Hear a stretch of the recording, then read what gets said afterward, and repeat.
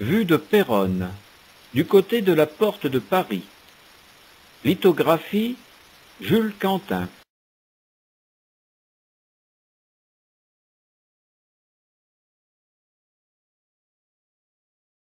Péronne au XVIIe siècle. Dessin de Mérovac. La tour Sainte-Claire. Le couvent Sainte-Claire. La collégiale Saint-Furcy. Le Beffroi. L'église Saint-Jean-Baptiste. L'église Saint-Sauveur. La porte de Bretagne. Les Grands Moulins. La tour Paillarde. L'église Saint-Quentin-Capelle. La porte de Paris. Le couvent des Minimes. Le couvent des Ursulines. La tour Comont. La tour du Coutre. Le couvent des Capucins. Le couvent des Cordeliers. Né sous le nom de Gabriel Robuchon en 1877, le flamboyant Mérovac était un fondu de gothique. Il erra de cathédrale en cathédrale pour se fixer quelque temps à Notre-Dame de Paris, dans la tour nord, dans une petite cahute, qu'il atteignait après avoir gravi trois cents marches. L'homme des cathédrales dessinait, quand il se sentait d'humeur artistique, des édifices religieux pittoresques aux colonnades élancées, coiffés de chapiteaux aux bestiaires médiévaux et grotesques, mais aussi des villes de rêve, très gothiques évidemment. On lui doit de Péronne cette gravure, mais aussi le beffroi, entouré des maisons environnantes. Péronne est la capitale du Santerre, chef-lieu du gouvernement de Péronne, de Montdidier et de Roy. Carte de Nicolas Tassin, publiée à Paris en 1634. On connaît peu de choses du sieur Tassin, géographe ordinaire de Sa Majesté. Connu du grand public sous le prénom de Nicolas, la Bibliothèque nationale de France précise que celui-ci est erroné et que son vrai prénom est Christophe.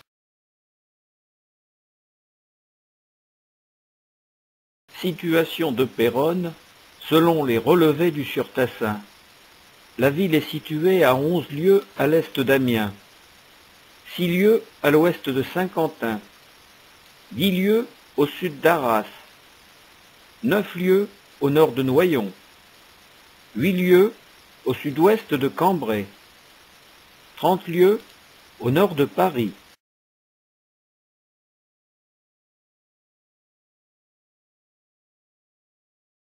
Vue partielle de Péronne du côté de Flamicourt avant 1652. D'après une coutume fort ancienne, l'hôtel de ville donnait huit sautiers de blé et d'autres avantages à un homme appelé le réveilleur, qui les lundis, mercredis et vendredis de chaque semaine parcourait à minuit toutes les rues de la ville avec une cloche en bois du poids de quarante livres. Il s'arrêtait aux carrefours en faisant retentir son instrument lugubre et répétait à haute voix et à plusieurs reprises. Réveillez-vous, gens qui dormez, priez Dieu pour les trépasser.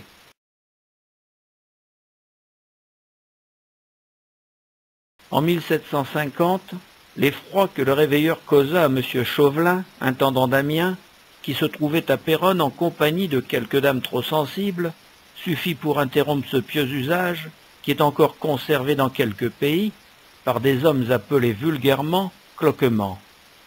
Histoire de la ville et du canton de Péronne par Paul de Cagny, 1844.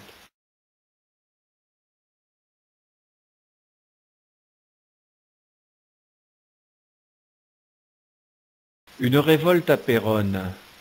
En 1610, peu après l'assassinat d'Henri IV, le marquis de Créqui, gouverneur des villes de Péronne, Roy et Montdidier, vendit sa charge à Concino Concini pour la somme de deux cent mille livres. Favori de la régente, Marie de Médicis, l'Italien racheta aussi le marquisat d'Ancre, ENCRE, pour trois cent mille livres. Sa signature mal orthographiée, il fut promu maréchal d'Ancre, ANCRE en 1613, tout en n'ayant jamais servi les armes. Détesté de la noblesse et du peuple, il négligea de cultiver l'amitié du prince héritier, le futur Louis XIII. En août 1616, irrité de la présence dans Péronne des troupes étrangères imposées par Consigny, et voyant en arriver de nouvelles, les habitants et la garnison française fermèrent et gardèrent les portes de la ville. La tension était extrême entre les Péronnais soutenus par la garnison française d'une part et les troupes étrangères, les unes casernées au château et les autres campant hors des murs de la ville et voulant investir la cité. Les habitants envoyèrent au jeune roi, alors âgé de quinze ans, et au duc de Longueville, gouverneur de Picardie, une députation chargée de confirmer au monarque l'obéissance des Péronnais à sa majesté et de l'informer du désarroi de la population. Les gardes français ayant reçu l'ordre de quitter la ville, les habitants furieux, abandonnés à eux-mêmes en l'absence de prompte réponse, chassèrent les troupes étrangères du château en prétendant agir sous les ordres du duc de Longueville. En novembre, le conseil du roi, après s'être informé de la loyauté des Péronnais, la garde française reçut un contre-ordre et revint à Péronne, à la joie des habitants heureux de se trouver quittes à si bon compte.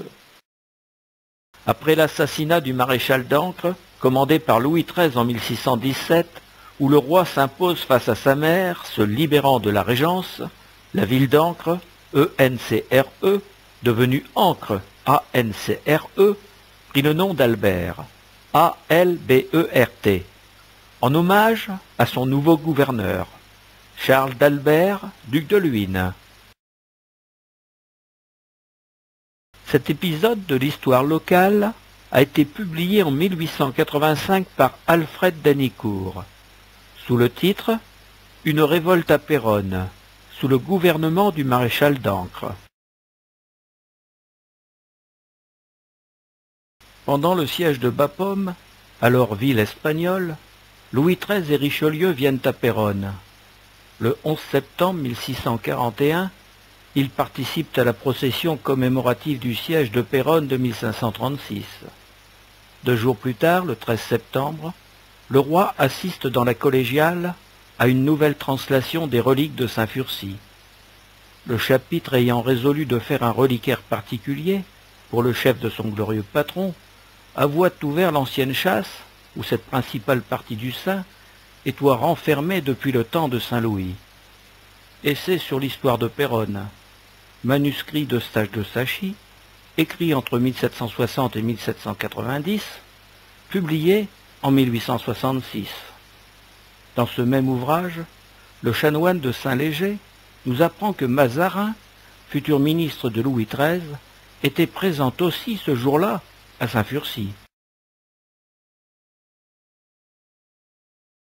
Toujours dans notre cité, le lendemain de la translation, le 14 septembre 1641, Louis XIII et Honoré II de Grimaldi, grâce à l'appui de Richelieu, signent le traité de Péronne.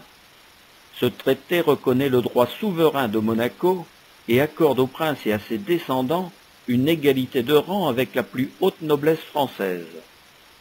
Le royaume de France assure une amitié protectrice à la principauté de Monaco. Profitant de la guerre entre la France et l'Espagne, par le jeu des alliances, la principauté se libère de la tutelle des Ibériques. Voilà pourquoi, en souvenir de ce traité, qu'un quartier de Péronne porte le nom de Monaco. Quant au siège de Bapaume, il est levé le 18, les Espagnols s'enfuyant. Plan de Péronne de Gaspard Mérian. Le nord est en bas. Les Mérians, Gaspard, Mathieu le Vieux et Mathieu le Jeune pour les plus connus, sont une famille célèbre de graveurs sur cuivre du XVIIe siècle, ayant exercé à Francfort et à Bâle.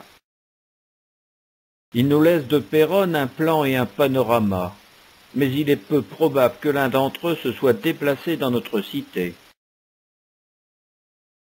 Pour un examen plus conventionnel, une lecture moderne, retournons la gravure. Plaçons le nord en haut et Péronne dans le bon sens. Partons du château.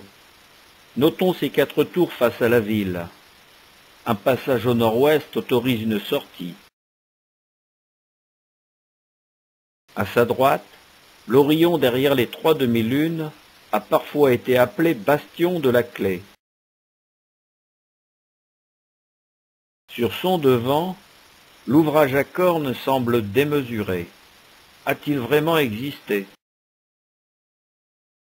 Le faubourg de Bretagne, la porte de Bretagne et ses fortifications sont bien positionnés. Ce chemin au sud, au milieu des étangs, a-t-il vraiment existé? Au faubourg de Paris, la chaussée inondable est représentée en pointillé. À sa suite, le pont Saint-Pierre enjambe la Somme. L'arc de cercle à l'ouest, dans les étangs, nous indique une ligne de pieux, interdisant l'approche par bateau.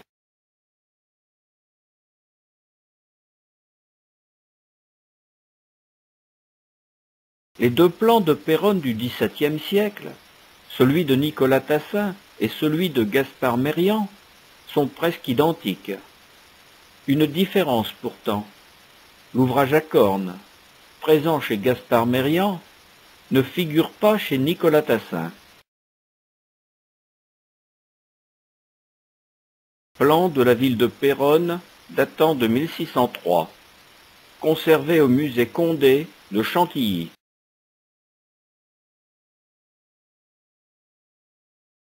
Carte de Picardie datant de 1634 par le célèbre graveur et cartographe Petrus Kerius. Détails de la région de Péronne.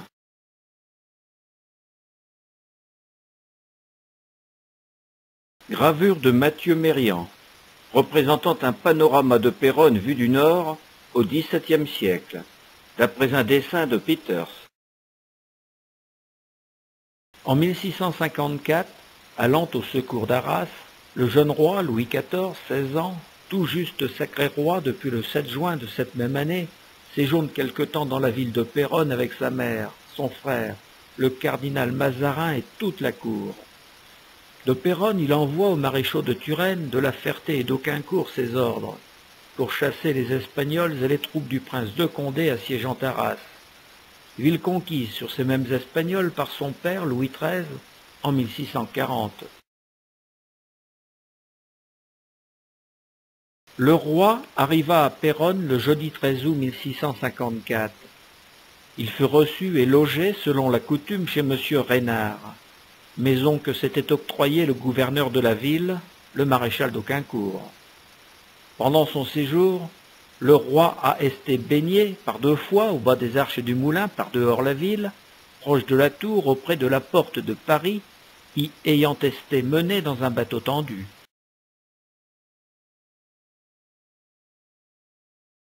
Le 25 août, jour de la Saint-Louis, Condé lève le siège. Le roi l'apprend le jour même. Il quitte la ville le vendredi suivant pour se rendre à Arras. De retour, il repasse à Péronne et y séjourne du lundi 31 août au vendredi 2 septembre. Depuis, ce lieu près de la porte de Paris où s'est baigné le roi Louis XIV porte le nom de Port-le-Roi. Le monarque et la reine-mère, Anne d'Autriche, étaient logés au sud de la Grande Place, à côté de l'hôtel de ville.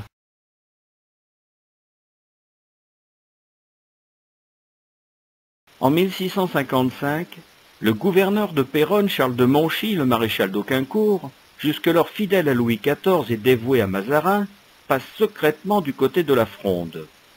Suite à des intrigues de cour et fâché de Mazarin, il a le dessein de livrer la ville au prince de Condé, dont les troupes sont cachées du côté de Rocogne. Prévenu secrètement de la trahison imminente d'Auquincourt, le mailleur de la ville, M. de Louvel de Fontaine, convoque le 24 août les échevins et prend aussitôt ses précautions. Le 25 août, il ferme et fait garder les portes de la ville. Avec l'aide de la population et du régiment de Suisse cantonné dans la cité, il fait braquer quatre canons devant la maison du gouverneur Félon. Le maréchal n'a le temps que de fuir dans un bateau préparé à l'avance. Après avoir rendu compte au roi, M. de Louvel de Fontaine est félicité. Il obtient la bienveillance du roi, pour lui et pour le gouverneur de la ville, le fils du maréchal d'Auquincourt, qui s'est offert lui-même à braquer les canons contre la maison de son père et montrer le trading sujet de sa majesté. Georges de Monchy d'Auquincourt avait averti le mailleur, M. de Louvel de Fontaine, de la prochaine trahison de son père et devint le nouveau gouverneur de la ville. Le chanoine de Saint-Léger indique que la trahison d'Auquincourt a eu lieu les 24 et 25 août 1655. Mais le manuscrit du contemporain Jean de Haussy en contredit la date et place cet épisode au vendredi 18 novembre de cette même année. Ce même manuscrit de Jean de Haussy relate en 1658 un débordement considérable de la Somme, du faubourg Saint-Pierre et dans les rues basses de la ville. Pendant trois jours d'alarme, il envahit la chaussée à plus de quatre pieds et s'étendit jusque par-dessus les ponts des rues Saint-Jean, des Bouchers, des Naviages, du Sac et des Cordeliers. Les ponts du Merdanson, égouts de la ville, étaient envahis par la crue de la Somme. Parole de Basse-Cour sous Louis XIV. Rallié à la cause de Condé, l'intrigante Madame de Montbazon eut parmi ses nombreux amants le maréchal d'Auquincourt. Par son célèbre billet connu de toute la cour, à la belle des belles, le maréchal, conquis par les faveurs de sa belle, promet la livraison de notre ville et son ralliement à Condé. La duchesse de Châtillon, autre belle intrigante, n'eut pas moins de puissance. Dans notre cité, elle arracha au maréchal la promesse de livrer au prince de Condé Péronne et âme. Mazarin, instruit de l'affaire, la fit enfermer à la Bastille. On rapporte que, projetant un voyage en Flandre et parlant de Péronne, Louis XIV se serait écrié avec satisfaction Oh oh, nous serons là chez nous. Pour commémorer le 120e anniversaire du siège héroïque de 1536, Louis XIV voulut laisser aux bourgeois de Péronne un témoignage durable de sa royale affection. En 1656, il ordonna de faire frapper à l'Hôtel des Monnaies de Paris une médaille destinée à rappeler à notre ville un glorieux passé qui devait servir d'exemple pour l'avenir. L'avers représente une pucelle assise les cheveux tombant sur l'épaule gauche, tenant un rameau et un bouclier rond reposant par terre. À ses pieds sur une seule ligne se trouvent trois paix couronnées, et au-dessous la date de 1656. En légende, la devise Urbs Necia Vinci. Au revers, un cavalier casqué tenant de sa main droite un bâton de commandement, portant au dos un carquois rempli de flèches et un arc attaché à la ceinture. En légende, ad paratus, sous les aspects d'un cavalier grec donnant des ordres, et par la légende, préparé à faire face des deux côtés, Louis XIV nous rappelle que c'est lui et lui seul qui prend les décisions.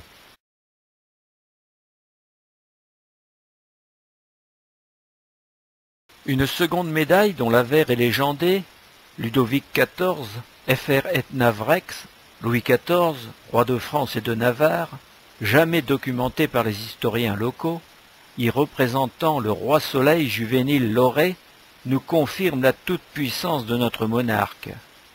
Le revers, identique à la médaille précédente, portant toujours la date de 1656, nous indique que ce jeton royal est bien destiné au Péronné.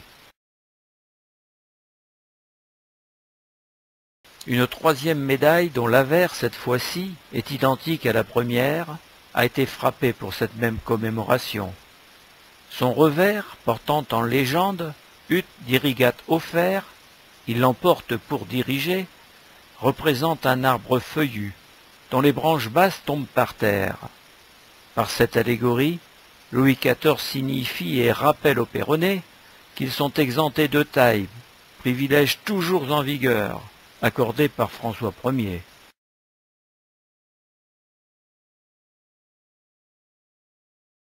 Le revers de cette quatrième, ayant pour devise Per Damma Resurgit, s'élevé par les dommages, daté de 1656, présente un arbre élagué rebourgeonnant, pour symboliser la bravoure de la ville meurtrie, se relevant. Jean Varin, graveur de monnaie et médailleur sous Louis XIII et Louis XIV, est l'auteur de ces représentations. La devise Urbs Necia Vinci, ville jamais vaincue, est écrite pour la première fois sur cette médaille de Louis XIV. Les trois P couronnés signifient Perona perpetuo puella, Péronne toujours vierge. Autre façon de dire jamais prise. La légende ad utrumque paratus, ainsi que la devise Urbs Vinci, furent empruntées par les archépistoliers canonniers arquebusiers de Péronne en 1681 pour orner leur tenue bleue, blanche et rouge.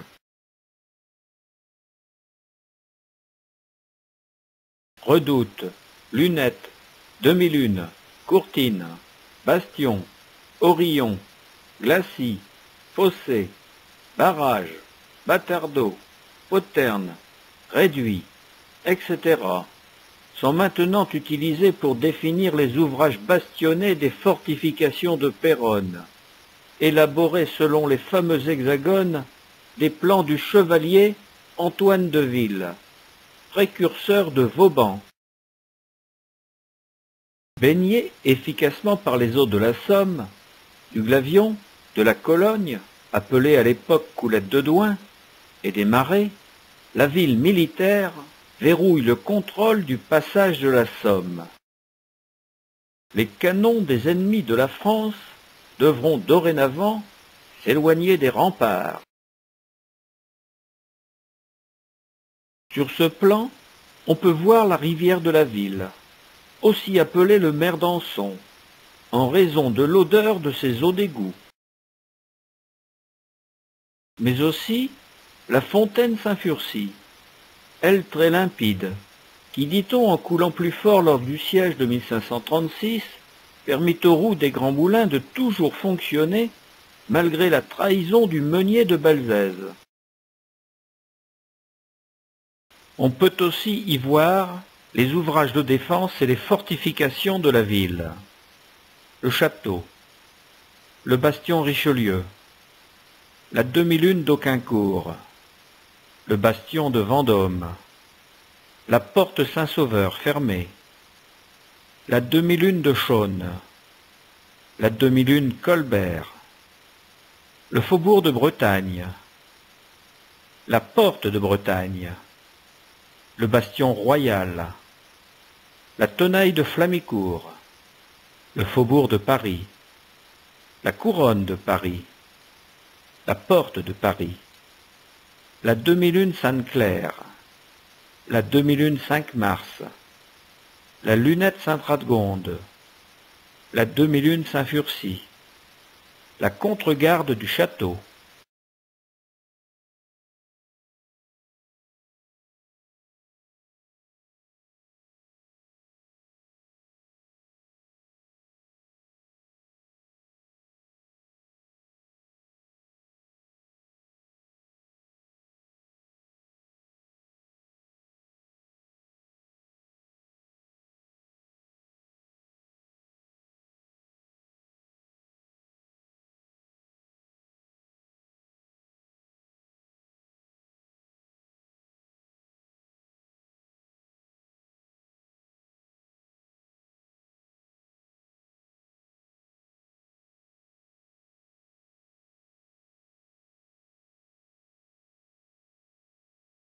Plan de la ville de Péronne en Picardie comme elle l'est. 1650. Inventaire des dessins exécutés pour Roger de Gagnères. Conservé au département des estampes et des manuscrits de la BNF. Quelques détails instructifs apparaissent en agrandissant cette portion de plan. On peut y découvrir le Merdanson, sortant du dessous du bastion royal, deux moulins à vent sur la muraille du sud-est, la porte de Bretagne, récente, la porte Saint-Sauveur fermée depuis peu, avec ses deux tours qui l'encadrent encore. Et ici, la fontaine Saint-Furcy, les grands moulins, la porte de Paris, la tour Hangar ou Bangar en 1, toujours présente, les tours Maillard 2, Sainte-Claire 3, Paillard 4, Comont 5, Ducoutre 6, le Bâtardot de Sainte-Claire en B1, de Sainte-Radegonde, B2, etc.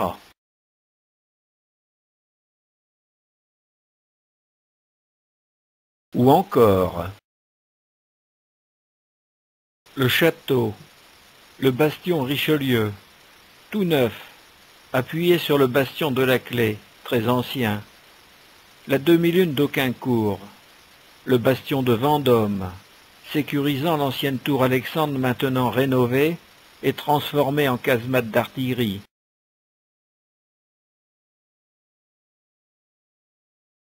Le cartouche.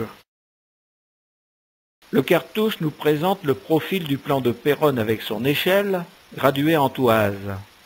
Le rempart de la place et sa palissade, 1.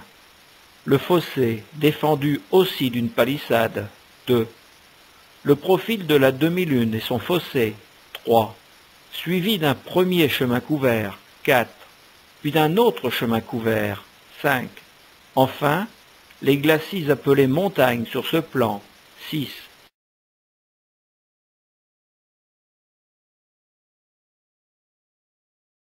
Les archives de la Bibliothèque nationale de France conservent ce plan, super bastionné, de la ville de Péronne mais ce projet d'époque n'a jamais été réalisé.